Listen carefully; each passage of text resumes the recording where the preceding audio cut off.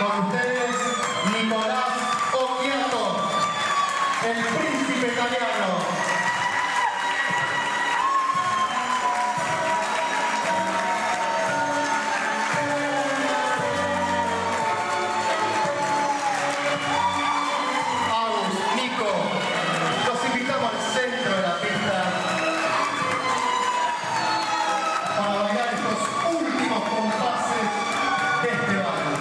en los 15 años.